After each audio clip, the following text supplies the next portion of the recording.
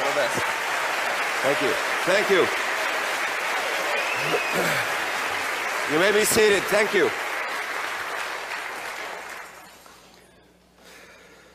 This is the first prophecy conference.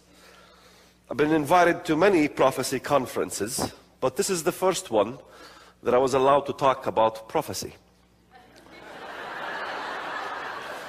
Every prophecy conference, they say, please, none of that discussion about Islam and the Bible, just your testimony.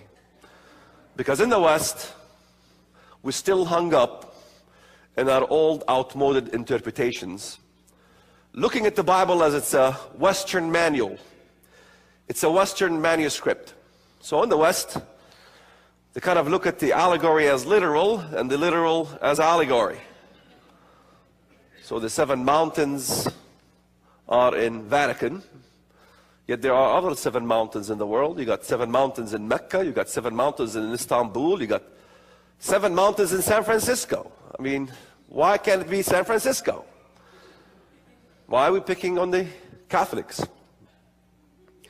Now, we're going to have a long, long study. I am not an exciting teacher. We're going to get technical because you study the Bible. Just as you study algebra, you don't preach algebra. It'd be a big problem if we preached algebra. I will give you a little background about myself. Uh, I come from both specters of this world. My mother was an American who met my father, who's an Arab, Jordanian, in Humboldt State College, University today. My American side, my great grandfather was mayor of Eureka, California. He was also an excellent friend with Winston Churchill. From my Arab, Arabic side, my grandfather was the chieftain, Mukhtar, and he owned a big portion of the shepherd's fields, you know, where the angel came down and proclaimed the Messiah. That was owned by Grandpa, most of it. And he was also friends with the notorious Hajj Amin al-Husseini, who was the Grand Mufti of Jerusalem, the Supreme Muslim Council. And he was uh, seen on the eve of the final solution with Adolf Hitler conspiring to destroy the Jews all throughout the Muslim world. I call him the Haman of the Muslim world he constructed two divisions out of the eight divisions of the Nazi war machine. Most Americans do not know that two divisions out of the eight divisions of the Nazi war machine were Muslim fundamentalists. Most Americans think that Islamic fundamentalism is something new. It is not. It's very old. Most Americans do not even identify what Islamic fundamentalism is or what is Islam. I'm going to identify Islamic fundamentalism for you. So when you see it happen, and you watch the footage on the TV or you listen stuff on the radio, that everything is going to fit the mold of this definition I'm about to give you. But I want you to memorize it. Here it goes. Islamic fundamentalism is a cult-like process that indoctrinates masses in unison in order to convert them to become seekers of salvation by death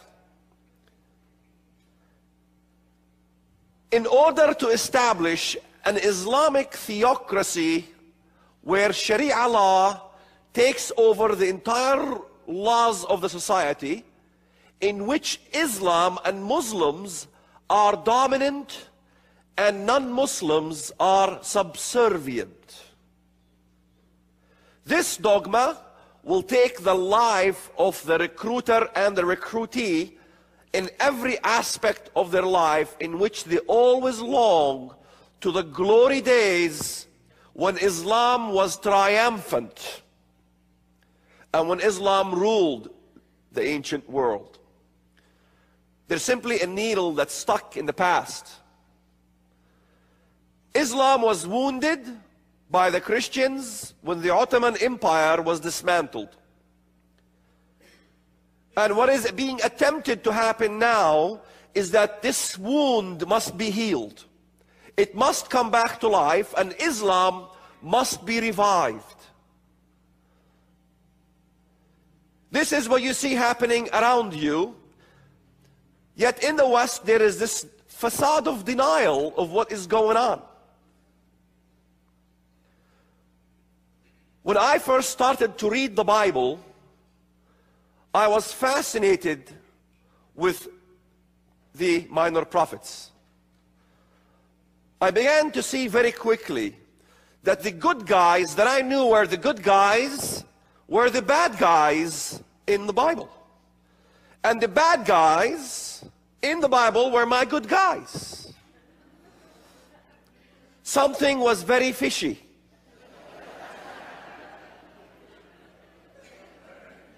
I began to see that my Mahdi was your Antichrist. And your Christ was my Antichrist. In fact, Muhammad said that one of the signs of the times for Muslims is that the false Christ will lead 70,000 Jews and Christians from Jerusalem. Satan even knew that there will be a unity between Christians and Jews in the ends of time. And one of the signs that we know the Mahdi is coming is that the Mahdi will bring a seven year peace upon the earth. Yet when I read the book of Daniel, I was crushed to find out that, my Mahdi was your Antichrist. Something indeed was very fishy. I began to begin to understand that Satan was extremely clever. That if you want to understand prophecy, you must pick on the brains of Satan because he knows it. He knew it all along for thousands of years. So he set up Islamic eschatology to match your eschatology, except he flipped who the good guy is to become the bad guy, the bad guy, the good guy. We have just completed the 2007 International Prophecy Conference with nearly a dozen world-renowned speakers, but you don't have to miss a minute. I've been invited to many prophecy conferences, but this is the first one that I was allowed to talk about prophecy. Could the apparitions that perform numerous signs and wonders that the Catholic Christians revere and worship also be the same things that Muslims will also worship? Our spiritual link is so connected to Israel that whatever God promised Israel as a blessing can come upon us as Gentiles. By 2015, Muslims will make up a majority of the Russian army. Get the entire conference today. All messages on audio tape or CD for only $119 plus $10 shipping, or on DVD for only $199 plus $10 shipping. When you order all the sessions, we will send you absolutely free the historic Convocation, where eight speakers were together on one panel for three exciting hours. Call now toll free 1 888 463 7639 and have your credit card ready. All my life as a teenager, I grew up in the Middle East, the Palestinian areas, of course. My desire was to die as a martyr. Because the only way one can assure one's own salvation in Islam is to die as a martyr. Most Muslims will tell you that they reject Christianity because no one can die for somebody else's sin. That the idea of a Messiah dying on the cross to redeem mankind's sin is absolutely rejected in Islam. There is no atonement for sin by anybody in Islam. This is the main focus that Islam came as a religion was to supposedly correct the Jews and the Christians, specifically the Christians, because the Christians believe in the Trinity and they believe God is our Father. They believe God came in the flesh. They believe that Jesus died on the cross. All these things are denied in Islam. Islam came as a religion for one sole purpose and one reason alone. Uh, that is to deny Abba, our Father, to deny the Son, to deny the Holy Spirit being God, to deny the Trinity, and to deny the crucifixion of Jesus. Of course, that should pop up an important verse for you. 1 John 2.22. Who is the liar? He who denies that Jesus is the Christ, that God came in the flesh, He is Antichrist that denies the Father and the Son. When I read this as a Muslim, something is more fishy. Something is definitely wrong here. How could it be that I would accept these very elements that I hated all my life? The Trinity?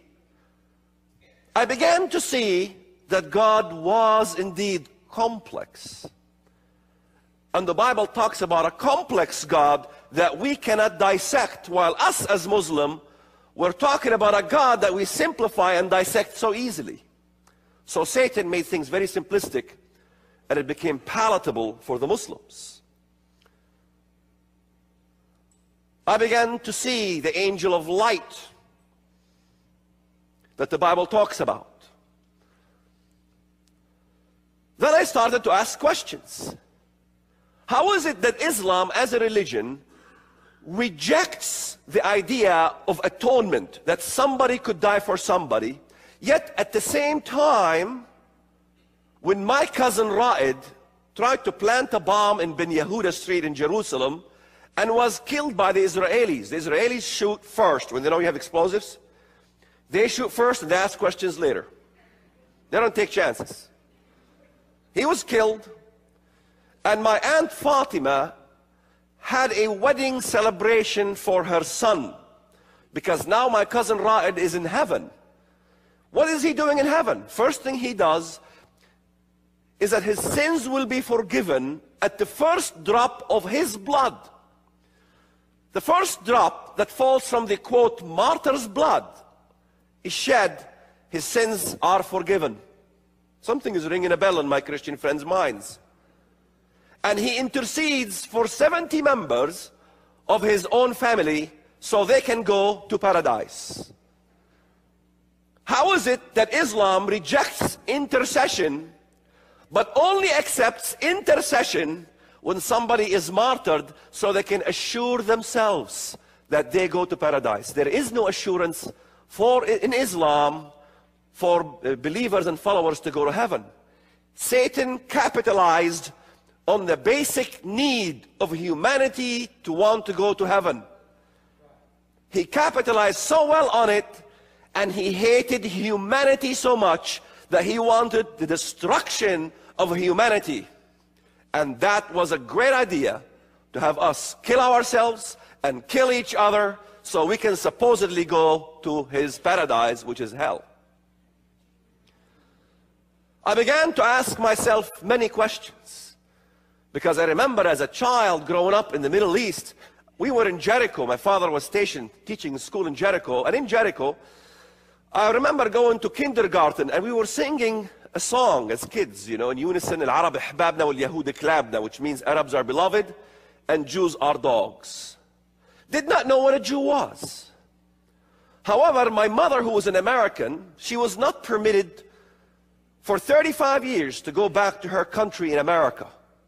She was held captive by my father. This is why I like to warn the ladies.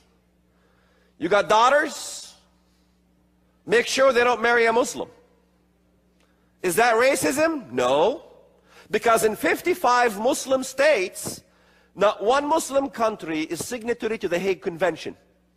Which means if your daughter or your granddaughter or yourself marry a Muslim and your husband decides to keep you, there's nothing your country can do for you. It also means, God forbid, you have a daughter from that marriage. That Muslim woman must marry a Muslim male. If she doesn't, she is to be killed by a member of the family. Honor killing doesn't also include, doesn't only uh, in, include women, but it also includes men who leave the faith of Islam. Islam as a religion does not honor women's rights. It does not honor whatever women desire. I am trying to get those Christian antennas in your head to go up automatically without me pushing the button. Who else does not honor the desire of women? The Antichrist as well, he attempts to change times, and laws. I think I mentioned to you that Islam's main mission is to establish Sharia law throughout the whole world, to change all the laws of the world to that religious law which ordains that if people leave the faith, they are to be beheaded.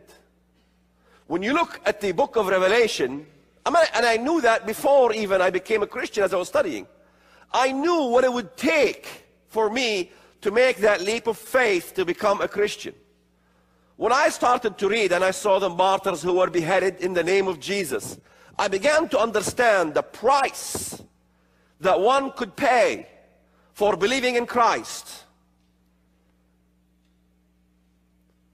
Do you think that the words in the book of Revelation that God was kind of kidding? He was not kidding. I began to ask myself many questions. That we tried all our lives to destroy that little state called Israel. And right there in the Six Day War, I was there. Israel won in six days. Why? Because in the book of Joshua, it talks about a six day war.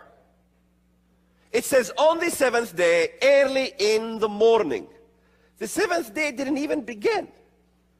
The children of Israel arose and went around the walls of Jericho seven times and kaboom, boom, boom, boom, boom, done. Right? You know the story. Joshua had a six day war. And here I was living another war called the Six Day War that was unfolding in front of our eyes. We opened the doors when the six days were over on the seventh day, early in the morning, to see Israeli tanks rolling in Jericho. And I question and answer time. Dad, that's not the flag that I saluted all the time that's on the tanks. That's a star, blue star. What is that about? we lost the war. How could it be? We were all marching. Everybody was marching all throughout the Middle East. We're going to destroy the Jews. It is a pushover. Goliath will kill David. But we were shocked. David killed Goliath. It would never have been a miracle if Goliath killed David, but God ordained it that the boy kills the giant. Why? Because if it's not so, where's the miracle? I began to understand that all my life as I grew up, I've entered into this experience that even Moses would desire to have witnessed. All of you remember those days. All of you almost have lived the times that God, who's brought the children of Israel not just out of Egypt, but out of the land of the north and out of all the countries where he has driven them. From 100 different countries, God's bringing Jews back to the land of Israel, and the world is in denial of what's going on. Even Moses would be dancing in joy because he had a hard time to bring them out of one country, Egypt.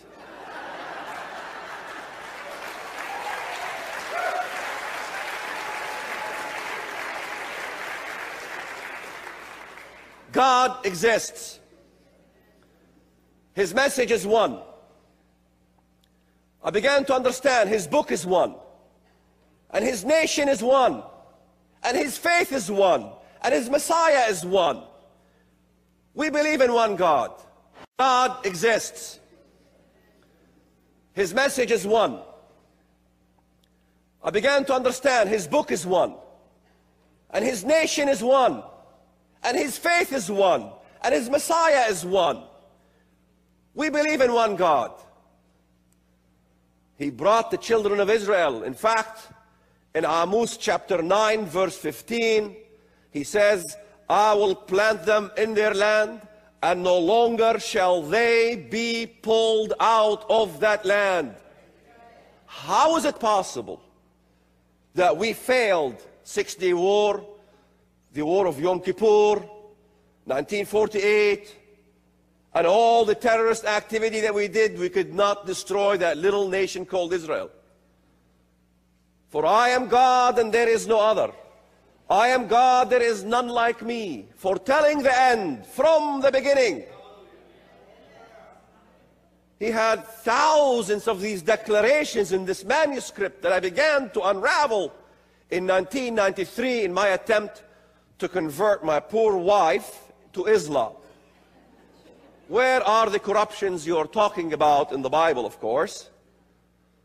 I had thought sincerely that when I did my prayer, asking the God of Abraham, Isaac, and Jacob to show me the truth, I had the Quran and the Bible side by side, comparing both manuscripts. And I wanted to ask God for help. And I wanted a neutral prayer that both Muslims Jews and Christians will agree to since I want to make sure that I'm addressing God in the proper fashion. So I said the most neutral prayer will be in the name of the God of Abraham, Isaac, and Jacob. Muslims believe in Abraham, supposedly, and Jacob, supposedly, and they believe in God. And Jews and Christians will agree. So I said, in the name of the God of Abraham, Isaac, and Jacob, show me the truth. I suspect the Quran is better than the Bible. But you show me the truth. And if you show me the truth, I will do your will in my life. I will do anything you want. Anything. I will go to the end of the world. You just show me your truth. You know what happens when you pray in the name of the God of Abraham, Isaac, and Jacob?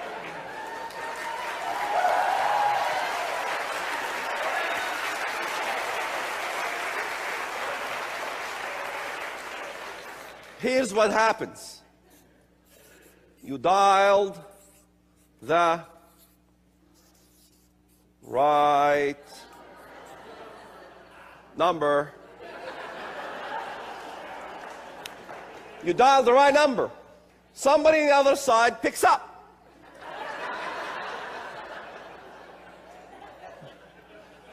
I've been calling you all this time. How come you never answered? Well, you've been dialing the wrong number.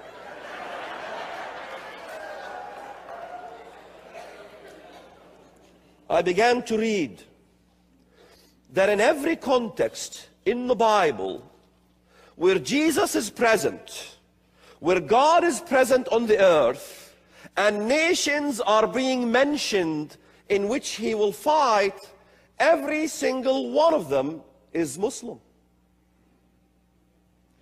Every single one. I began to look at Psalm chapter 83. But Psalm 82, verse 8, it says, Arise, O God, judge the earth, for you shall inherit all nations. The Lord himself will arise from his throne for that specific incident to judge the following nations. Is the most amazing piece of prophecy in the Bible. Yet when I became a believer and walked into a church, no one ever knew about the stuff that I was talking about. We were studying the book of Acts every single month and never got to these things that's in the Bible regarding these prophetic things. God will arise to judge the nations, and then he mentions them one by one. They have said, Come and let us cut them off from becoming a nation, that the name of Israel be remembered no more. For they form a confederacy against you, the tents of Edom and the Ishmaelites who are these people? Muslim. And I began to read, Assyria came to their aid, do to them as he did to Zeb and Zalmunna. Who is Zeb and Zalmunna? Zebah and Zalmunna, verse 11. I hope you brought your Bibles with you. The American mindset would look at Zebah and Zalmunna, would skip. We don't know who that is, and they keep going on. In other words, in other words, what will happen to these people is exactly what happened to Zebah and Zalmunna. And what happened to Zebah and Zalmunna? It's in the book of Judges, chapter 8. I believe verse 26. With the story of Gideon. You've heard of the story of Gideon? Now, who is Gideon? How much of the Bible is prophetic? All of it. All of it. Come on, Walid. All the Bible is prophetic? Yes. Okay, I can give you a verse that is not prophetic. Let's see. Uh, Blessed are you when they persecute you. Jesus giving a sermon. How is that prophetic? Sure is. Because he was leaving and the sheep are going to become shish kebabs. So he told them, Blessed are you when they persecute you. He's leaving. What's going to happen to the believers down there? They're going to get persecuted. That was very prophetic. Joseph, the suffering Messiah. David, the king Messiah. Gideon, Gideon, the brave one. The warring Messiah, the conquering Messiah. You want to know what the Messiah does when he comes back again? Study the book of Gideon. The, the, all, all these things about Gideon, Judges. Study Gideon, and you know everything about Gideon, you know what the Messiah is going to do. What he's going to do uh, in verse 21. So Zebah and Zalmunna said, Rise yourself and kill us, for as a man is, so is his strength. So Gideon arose and killed Zebah and Zalmunna and took the crescent ornaments that were on their camels' necks. So in other words, when the Messiah comes, he will remove the crescent moon from all over the land and the high places. The crescent moon is on all the minarets all throughout the Middle East. It must be the highest position in every single village or city is the crescent moon. We have just completed the 2007 International Prophecy Conference with nearly a dozen world-renowned speakers, but you don't have to miss a minute. I've been invited to many prophecy conferences, but this is the first one that I was allowed to talk about prophecy. Could the apparitions that perform numerous signs and wonders that the Catholic Christians revere and worship also be the same things that Muslims will also worship? Our spiritual link is so connected to Israel that whatever God promised Israel as a blessing can come upon us as Gentiles. By 2015, Muslims will make up a majority of the Russian army. Get the entire conference today. All messages on audio tape or CD for only $119 plus $10 shipping, or on DVD for only $199 plus $10 shipping. When you order all the sessions, we will send you absolutely free the historic Convocation, where eight speakers were together on one panel for three exciting hours. Call now toll free 1 888 463 7639 and have your credit card ready. In 45 of Isaiah chapter 23, the second half, that to me every knee shall bow, every tongue shall take an oath. There it is. Every knee will bow, every tongue shall take an oath. All right? He shall say, Surely the Lord have righteousness and strength. To him men shall come. Oh, the Lord is here, and the whole world is flocking to worship the Lord. Who bows to him? Every knee will bow? Not just human beings will bow. Look at 46, the first verse. Bel bows, Nebo stoops. Arthur Jeffery, one of the greatest historians in Islam, says that the worship of Allah is the same as worship of Bel, the moon god. Allah is another form of the worship of Bel. Before the advent of Islam, they worshiped the moon god. Bel is the moon god, and it says Bel bows. The moon god will bow, the crescent moon. Nebo stoops. Their idols were on the beasts and on the cattle. Remember, I was sharing with you, judges? It was in the camel's necks, the crescent moon that was plucked away. That also will bow. And it goes on to talk about this amazing prophetic stuff. It will really literally take me, uh, say, eight hours a day for a month to go over the things that I've discovered. But I only have two hours. How can I share all these things in two hours? Unfortunately, in America, everything is fast food. Quickly. Get this guy out of the stage. There's another guy who's coming after. I began to understand, even from understanding the Bible, about the concept of who Satan is. The Quran, we memorize big portions of the Quran as Muslims. What is the definition of our God in Islam? How does it differ from the definition of God in the Bible? It goes further than my Antichrist was your Christ and your Antichrist was my Christ. The 99 names of Allah in the Quran. Allah has 99 names.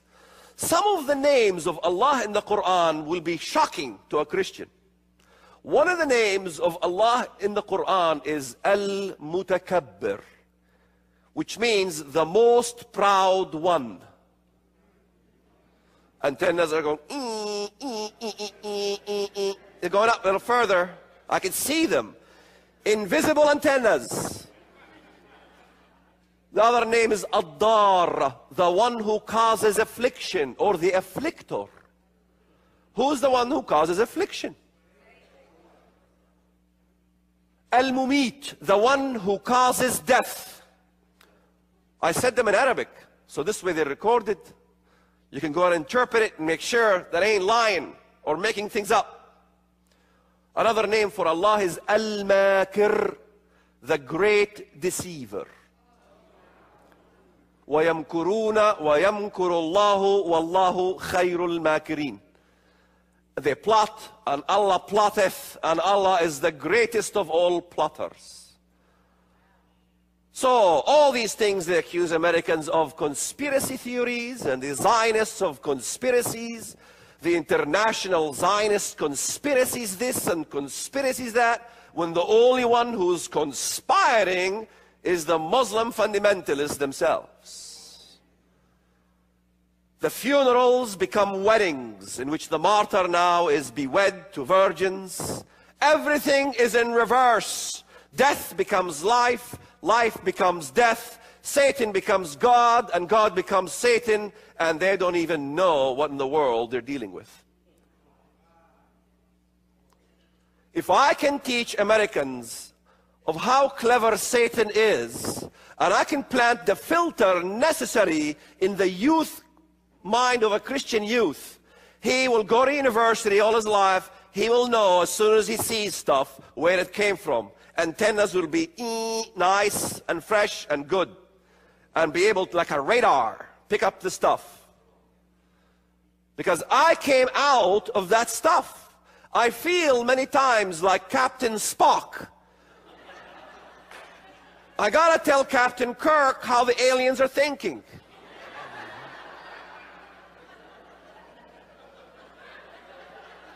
The Quran says about Allah, الله نور السماوات والأرض مثل نوره كمصباح المصباح في زجاجة الزجاجة كأنها كوكب دري Let me translate that for you, my American friends. Allah is the light of the earth and the heavens. He's a light being. مثل نوره كمصباح. The likeness of his brightness and his light is as a torch or as a lamp. Now, and it goes on to say, المصباح في زجاجة, it is in a glass thing, and then الزجاجة كأنها كوكب دري. That light being is like a floating star. Okay? So it's light being, and it's like a star. And I don't know, it seems that the antennas are stalled here, but I need to kind of raise them up a little further. In Revelation chapter 8, verse 10. Remember what I said? He's a, as a torch, as a light. In verse 10, then the third angel sounded, and a great star fell from heaven, burning like a torch. And it fell on the third of the rivers and on the springs of water. The name of it was Wormwood. And then chapter 9, I saw a star fallen from heaven to the earth. To him, you see, the star is not a star literally, it's an allegory. To him, the star was given the key to the bottomless pit. And what is it? This, this angel of death is released in the, the Hebrew, his name is Abaddon. In the Greek is Apollyon, which means destruction, right? What does terrorism mean after all? Destruction. How do you fight terrorism? Terrorism equals fear. The way you fight fear is what? Fearlessness. You can't fight fear with fear. We need to raise a generation of Christians that are fearless, that are willing to die, that are not afraid to die, that are afraid, not afraid to be martyred for the cause of Christ. But unfortunately, fear works in the West. Some of the verses about Allah in the Quran. قُلْ أَعُوذُ بِرَبِّ الْفَلَقِ I seek refuge from the Lord of the dawn. The dawn, you know the dawn, the morning star. Min sharri ma khalaq. I seek refuge from him, from the evil he hath created. How is it that somebody seeks refuge from Allah who creates evil? And I seek refuge from him to protect me from the evil that he unleashes. قل أعوذ برب الناس ملك الناس Say I seek refuge from the Lord of the multitudes. إله الناس the, the Lord ملك الناس the king of the multitudes من شر الوسواس الخناس For I seek refuge from him from the evil also. He is also called Malik al-Nasi wal-Jinn, Insi wal-Jinn. He is the king of the multitudes and the demons. The word multitudes comes in the Bible.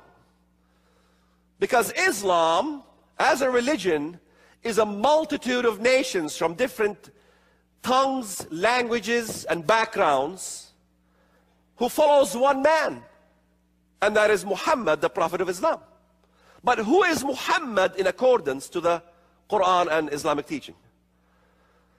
Muhammad is the perfect Adam. He's not some mere prophet, as Muslims claim. He is the perfect Adam. He is better than Adam. He is better than Jesus. It's a very messianic attributes that is given to this man, Muhammad, in which in the ends of times, his spirit will come again in the form of the Mahdi. In other words, this Messiah must come again. Most Americans don't understand that when the Bible says the Antichrist, they think that when the Antichrist comes, he will say, uh, look guys, gals, I'm Jesus. I died for your sins. Here's the marks on my hands and my feet. But in reality, he was not the real one. And I died for you. I, I, I shed my blood for you. No! He's not going to mention the blood. He hates it. He is anti, anti, antichrist. And he also replaces Christ, both. He's against and he is a replacement. Islam as a religion is the most antichrist religion that there is. Hindus don't care about the Trinity, Son, the Father. All the other cults don't care as much as Islam cares about Father and all these things. So the Catholics cannot be accused of being Antichrist. They can't because, you know, do you ever see a Catholic pray? In the name of the Father and the Son and the Holy Ghost. Splash, splash, splash. Thank you, thank you. You know. I mean, they emphasize on it so much. The Father and the Son. And, and we disagree with them and all these things. But they cannot be the harlot of Babylon. It's impossible. The harlot of Babylon cannot be the Catholic Church. Rome is mentioned 15 times in the Bible. How many times does the Bible mention Roman destruction? How many times? Literally. Zippo. Not once. Spain is mentioned twice. How many times in destruction? Zippo. Let me ask you a question. Out of all the countries that are mentioned in the Bible literally, literally by name, name me one country in the Bible that is mentioned by name that is that God destroys in the end that is not Muslim. The different names that God attributes to the Antichrist. What is Antichrist called in the Bible? He is called the Assyrian. He is called the Prince of Tyre. Where is Assyria today? Muslim. Prince of Tyre, Lebanon. Where, where is it today? It used to be Christians a few years ago. What happened to Tyre now? It's Muslim. Welcome, Americans, to jihad. He is called also Pharaoh of Egypt. Egypt today is what? Muslim. And in every reference where Christ is fighting, that country is Muslim. How come Americans thought for all these years that Christ is going to fight the Antichrist who comes out of Italy and he enjoys eating numero uno pizza and spaghetti meatballs, I guess. I don't know. The EU, one country, ten nations join. Greece was the 10th nation that joined. And then 11 joined, 12 joined, 13, 14, 15, 16, 17, 18, 19, 20, 21, 22, 23, 24, 25. And right, there you go. And I never knew this guy. And I've discovered him later on. I was like, how come he stole my stuff?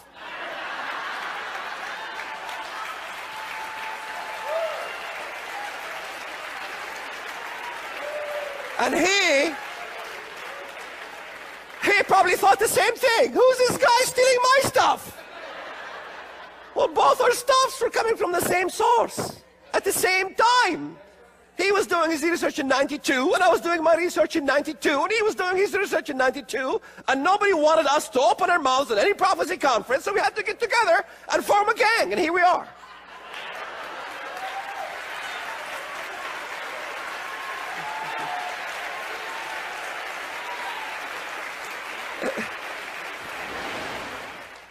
Tell me that Israel doesn't matter. Tell me it doesn't matter.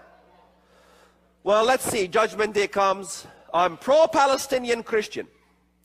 And I wanted an establishment of a city of Jerusalem to be divided between Muslim Jews and Christians and Arabs and Jews. Let's divide it. Give the eastern portion to the Arabs.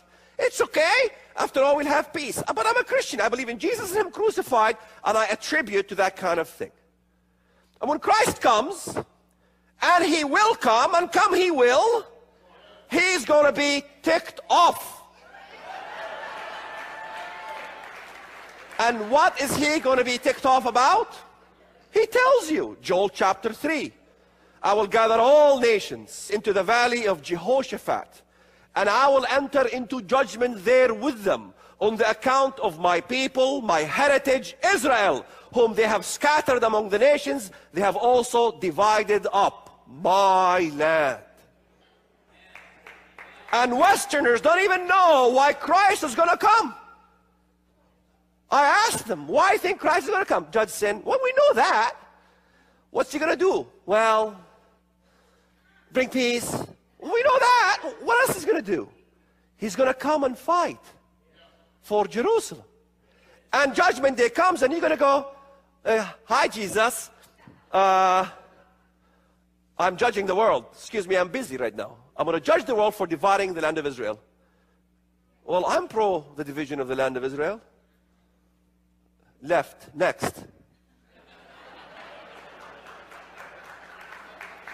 Can one be on the side? I mean, look, who wants to divide Jerusalem? Who wants to divide Jerusalem? The devil! Antichrist wants to divide Jerusalem. What does he come to do? Divide Jerusalem, divide Israel, divide the land. If, if, if Antichrist wants to divide the land, and you are pro the division of the land, what side are you on? He said, I send you as sheep amongst wolves. I send you as sheep amongst wolves. So what does that mean? If you got no wolves, maybe you're not sheep. Think about it. Think about it. If you don't have wolves in your lives, and don't tell me your mother-in-law is the wolf. No. That is not what the Bible is talking about. Or your credit problems, or your hemorrhoids. That's not what God is talking about. Those are not the wolves. Wolves are real people who really want to kill you and get you and destroy you for what you believe in. I began to understand when Jesus said that the day will come that the ones who will come to kill you, they will be thinking they are doing God a service. In fact, in Psalm 83, clearly what it says. Let's go back to Psalm 83. Oh, let's finish this one. Remind me to go back to Psalm 83. Look at that. Verse 8 For it is the day of the Lord's vengeance, the year of recompense for the cause of Zion. What does he do to Arabia? Verse 9 Its streams shall be turned into pitch. The word streams, Hebrew is nachal, which doesn't, which really doesn't mean water streams like you think. It's not water streams. Nachal is torrents, mines. Look it up in the Strongs. Underwater, underground torrents or mines or tunnels will be filled with what? Pitch. What's pitch? You want to argue with that one? Be filled with pitch, and its dust into brimstone. Its land shall become burning pitch. It shall not be quenched night or day. Its smoke shall ascend forever. From generation to generation, it shall lie waste. Al Gore is not going to be happy when this happens.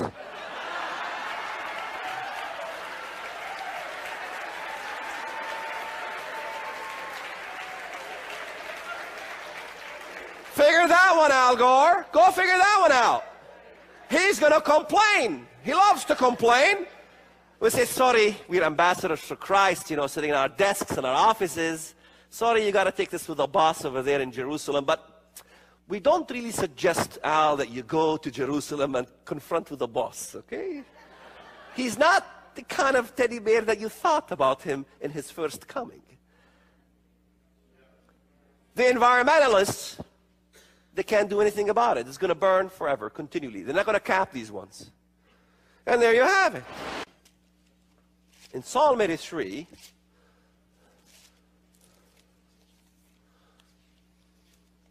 it talks about, and that's really, what really got me, you know, when I read that part. Look at this part here. It says about the Muslims, the Ishmaelites, the Hajarites, they're coming against Israel, and God will destroy them. Verse 17, let them be confounded and dismayed forever. Yes, let them be put to shame and perish. Verse 18, that they may know, the Muslims, those are Muslim countries, that they may know that you, whose name alone is the Lord, are the most high over all the earth. That the Muslims will finally recognize who God is, His name. And what is in a name? You talk to a Western mindset and you say, What's the name of the Lord? Can you tell me? Give me some examples. Come on, talk to me. What? Can you raise your hand? When everybody mats together, you know, we're all sheep, we mat together, doesn't. I want one sheep at a time. Yes. He's gonna what? His name is Jehovah. What else? Lamb of God. What else? I am. But what does this mean? Lamb of God. What does it mean? You know, let's think about the word name. The way when you see name, when I see name, I got a different image in my mind than yours. His name shall be called Emmanuel, which means God with us. That's not a name. Jesus is not from Mexico. His name is not Emmanuel. His name is Yeshua. So name doesn't mean really as you think, name, Paul, John. His name shall be called Emmanuel, which means God with us. That's so the Muslims will recognize that God came in the flesh and died for the sins of mankind. They will understand the definition and the attributes of God finally in the end. His name shall be called Wonderful, Counselor, Mighty God, Everlasting Father, Prince of Peace. Now, what this prophet is saying is that his name shall be called counselor. While the world denies it, no one in the world can deny only one person had these titles. You can deny he's God, you can deny he's the Messiah, you can deny he's the Son of God, but there's one thing no one can deny is that his name was called these things. So, what is a mountain? Kingdom. So when Christ says, if you have faith of a mustard seed, you can move the mountain, right?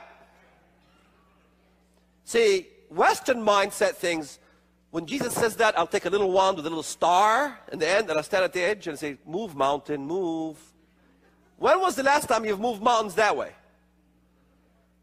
Jesus makes sense. When he says stuff, it means something that makes sense. He really is a great communicator, but he likes to speak in a certain wavelength that few will get. They asked him, How come you speak in parables? He said, So the damned don't get it. Sounds cruel? That's your problem. But that's how he speaks. So the mountain is always a kingdom. The mountains will bow to you. Every hill will bow. Kingdoms will bow. Right? Now that you know that mountain means kingdom, guess what? You all graduate as experts in Bible prophecy. You're laughing, but I'm not because I'm very serious. I saw the woman, she was drunk of the blood of the saints and with the blood of the martyrs. Right? Okay. Look what it says in verse 9. He tells them in verse 7, Don't worry, I'll tell you what the mystery is. In verse 9, here is the mind which has wisdom. The seven heads are seven mountains on which the woman sits. Now, you saw this image, how all of it is together, God destroys them. Seven mountains. What's a mountain? There are seven heads. One, two, three, four, five, six, seven. Not very good looking mountains, but seven mountains, right? One, two, three, four, five, six, seven. There are also seven heads, right? There are also what? Seven kings. Verse 10. Ah. Kings rule what? Kingdom. So a mountain is what? Kingdom. It's not the Vatican. That's not Rome. Five have fallen.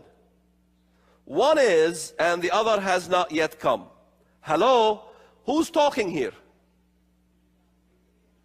Who's talking? Who's writing this stuff? Thank you. John. He says five kingdoms fell. Where's John sitting? Which number?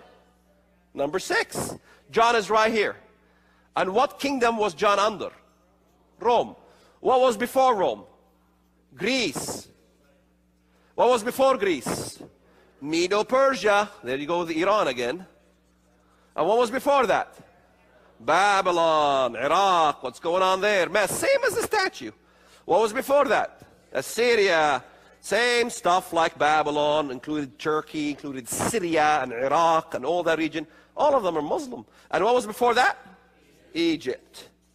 Today is what? Muslim. The Lord comes in a swift cloud to fight Egypt. Isaiah 19. All the stuff in the literal applies perfectly. Americans, when they read prophecy, they go to the book of Revelation first. What they need to do is go to the prophets first in Isaiah, one by one. Now you apply the literal to the allegoric mold, and they must match perfectly. You don't go to Revelation and take, make Revelation Oh, see, but the Bible here is talking about, let's see, Revelation, the bear, that's Russia. Let's make that one Russia, and let's make that one communism, and let's make that one whatever we want. That's why there's so much interpretation out there. So that's the seven heads. They are all at the same time. The woman rules from the desert with her false religion.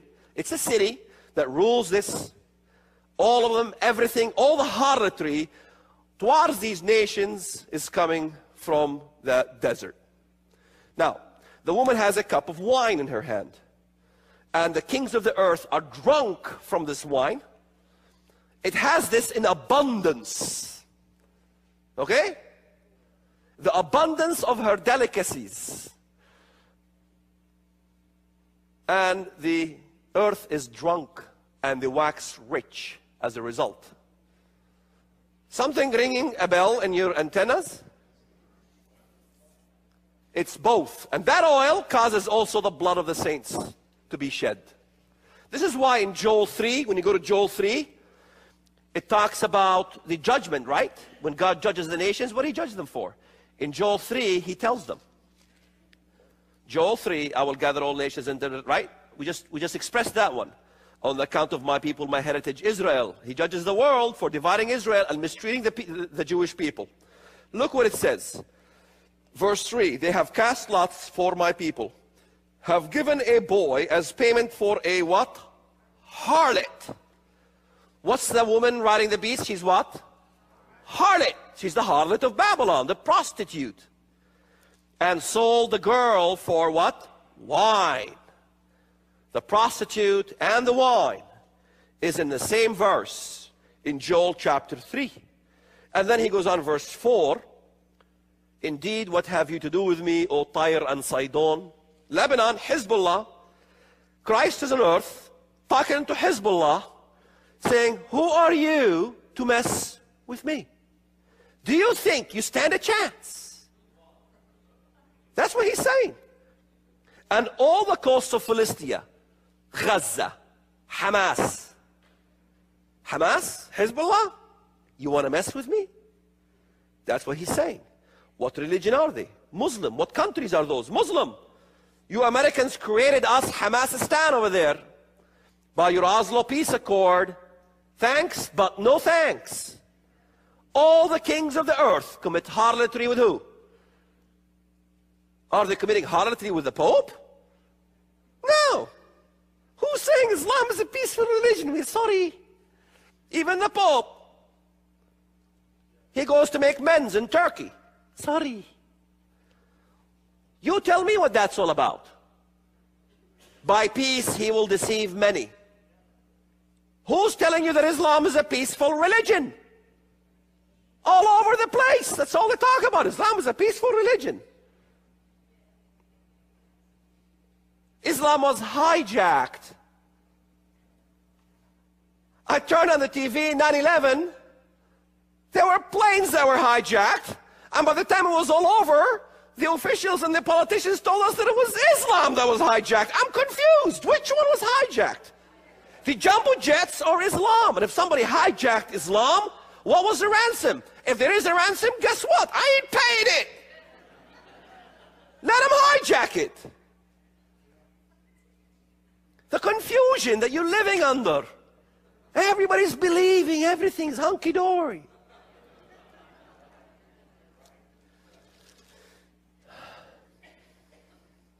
Verse 17 in uh, Joel 3 even so you shall know that I am the Lord your God dwelling in Zion, my holy mountain. Verse 19 Egypt shall be a desolation, and Edom a desolate wilderness because of violence against the people of Judah.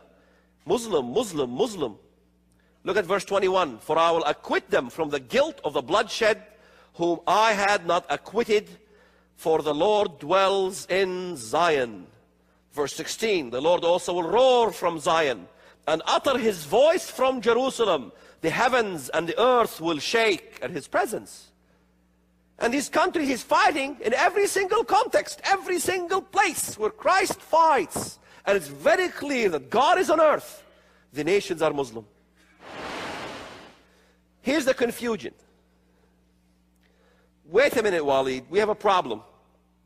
Because the feet are iron, and that's the Roman Empire. Well, yes, it's the Roman Empire. But what part of the Roman Empire is the Bible talking about? So the question is the coming entity that is going to come and wreak havoc on the earth, is it a revival of an Egyptian empire? Yes. Yes. Not no. Is it the revival of an Assyrian empire? Yes. Is it the revival of Babylonian empire? Yes. Is it the revival of the Persian empire? Yes. Grecian? Yes. Roman? Yes. Now, we got to the sixth Rome, right? Who's the seventh? Yes.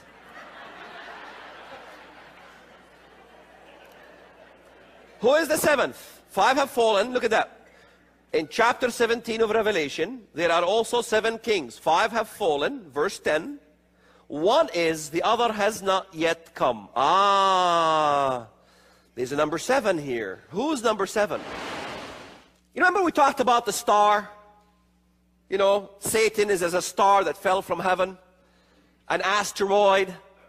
You know, in, in Acts chapter 9, it talks about asteroid worship. What is the black stone? An asteroid that fell from the skies. And in Acts chapter 19, it talks about to the believers, it says, Do not worship Artemis and her image that fell from heaven, from Zeus. And that was an asteroid, literally, an asteroid, a black stone that they worshipped in Ephesus in Turkey. Think about this for a minute. How come this has been dropped from the interpretations of prophecy? How come Isaiah 63 is dropped? Isaiah 19 is dropped. Habakkuk 3 is dropped. All the Psalms is talking about all the nations, all the Muslims with the Lord present, all are Muslim. It's dropped. What else is there? I mean, every part of the Bible. Do I need to go through Isaiah and Ezekiel and all these things? Even, you know, even Isaiah 60, uh, Isaiah 13. How much time do we have left? 20 minutes? Mr. Stone's fallen asleep. I better say something more exciting.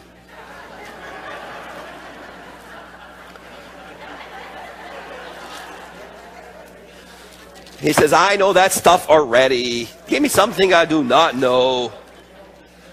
All right. Look at Isaiah chapter 12, verse 6.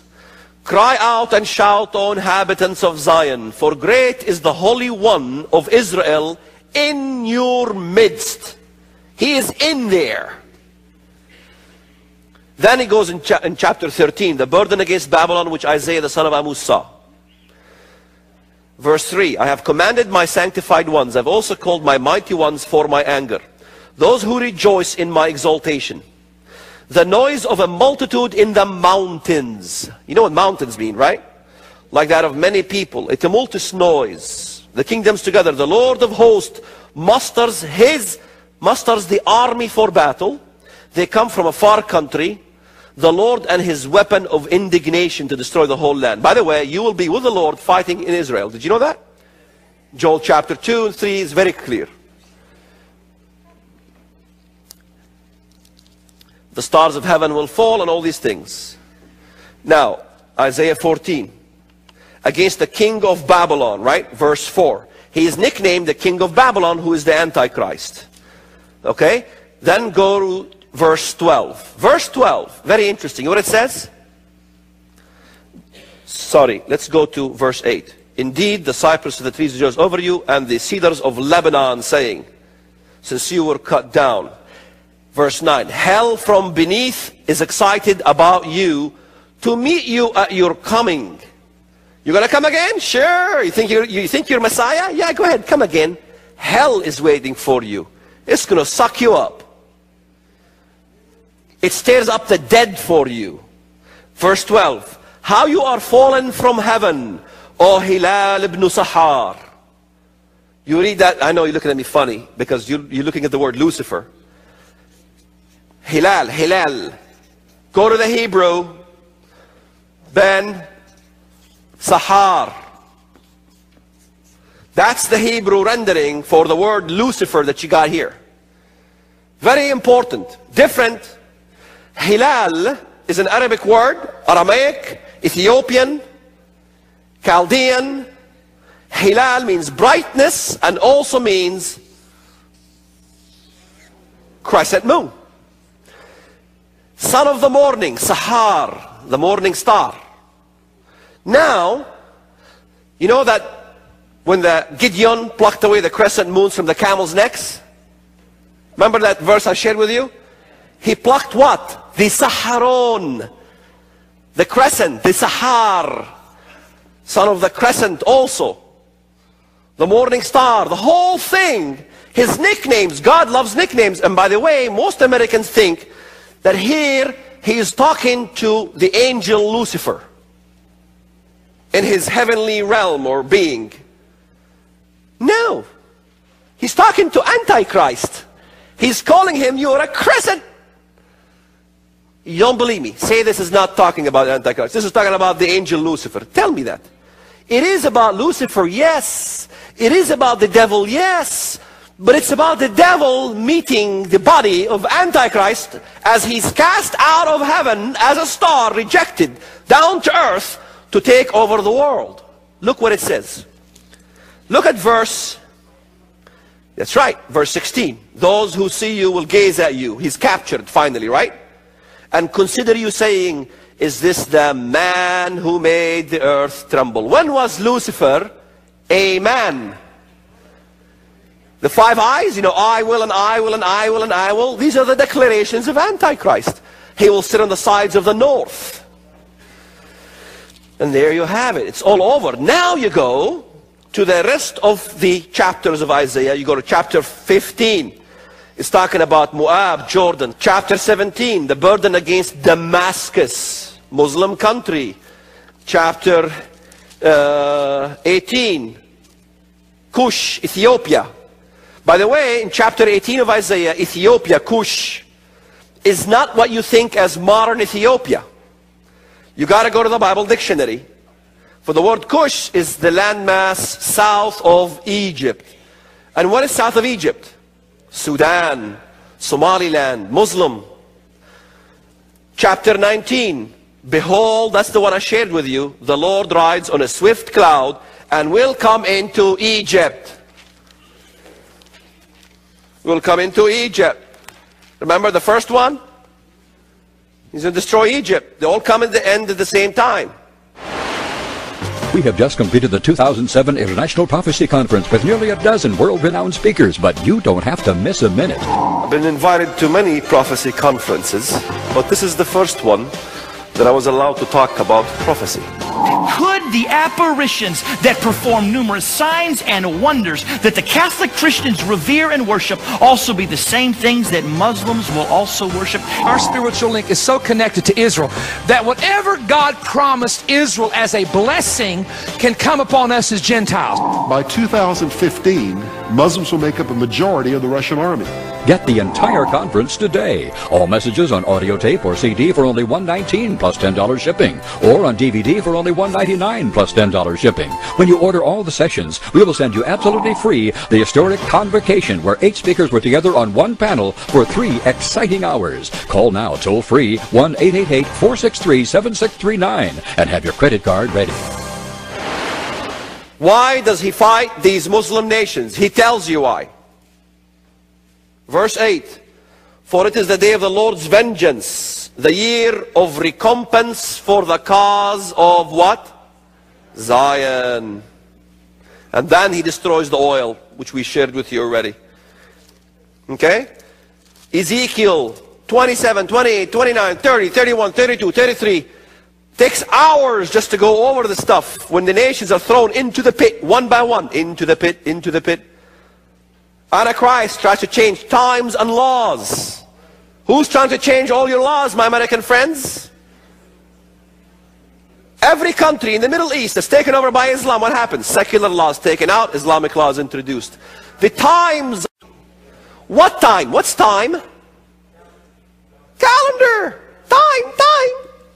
You can look at all these interpretations as times. Let's see. He changes the cosmos, the planetariums.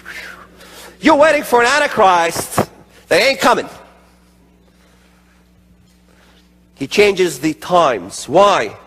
Because right now the whole world uses Anno Domini. Satan hates that. He does not like Anno Domini. Look at every single Islamic culture when they change. They change it, take it Anno Domini, and they enter the AH. After the hijrah of Muhammad, Muhammad, by the way, the calendar of Islam began not in Mecca. It began when Muhammad immigrated from Mecca to Medina, and that's where the advent of Islam began. In Medina. Why? Because Satan, when he introduced the worship of the moon god, he introduced it in Yathrib, in Medina. When?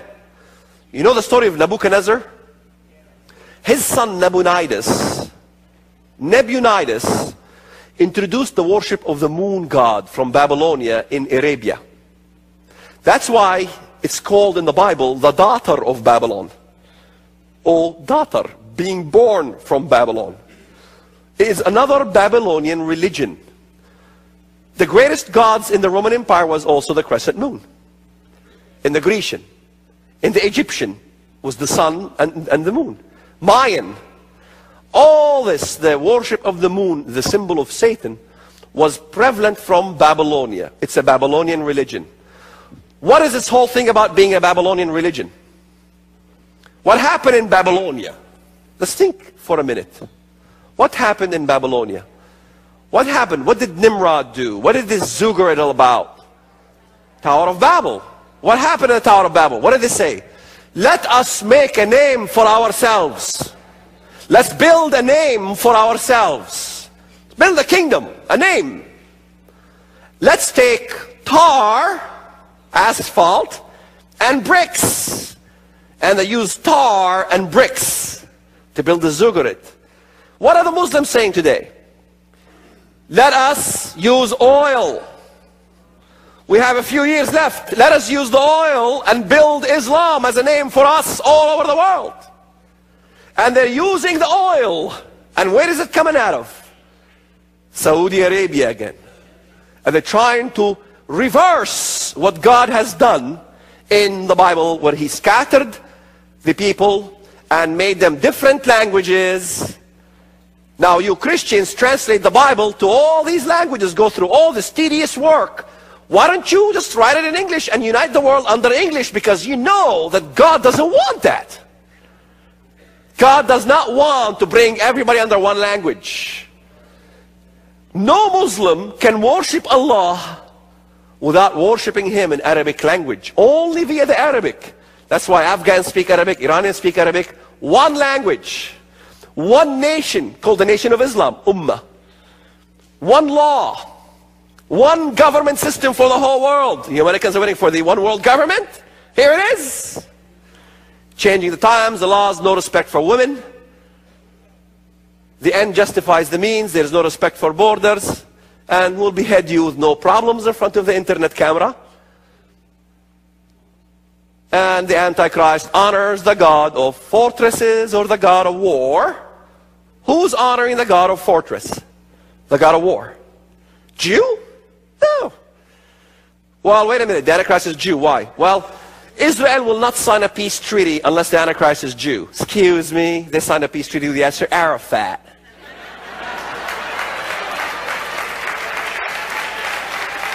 And he was no Jew. And he did worship a single God called Allah. Because they say, well, he does not honor the God of his fathers. Some translations have God. It's really Eloha, gods, plural. But some translations have it as God of his fathers. And since the Jews only worship the singular God, so the Antichrist must be a Jew. Well, the Muslims worship a singular God too. And he is the God of war, just like the Bible prescribed. Jews don't worship a God of war. Jews say that God is Abba, our Father. They do believe in Ruach HaKodesh, the Holy Spirit.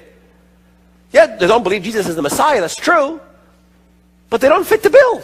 Neither the Catholics fit the bill. Only Islam fits the bill perfectly from all the literals. I had one debate and one scholar on television. I like the guy. He's a friend of mine too.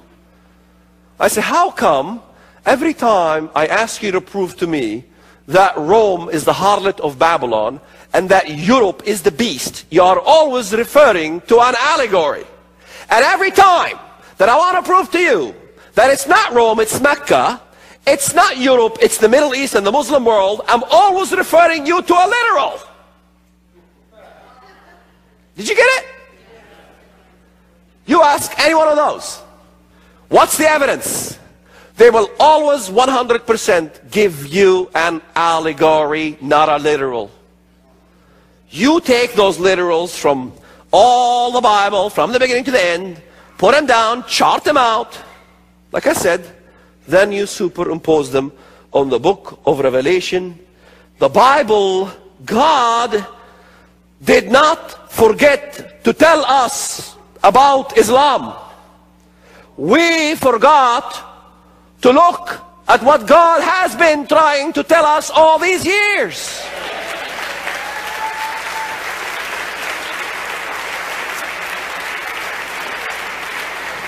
And when we Christians, when we Christians complain, we don't like the media. I don't like the media. Why? Because the media has censorship. They don't let Christians speak up. Let me tell you about Christian censorship. Christians censor more than the secular media censors. They don't want you to know that either. That's the first prophecy conference that I was allowed to confuse you with the facts.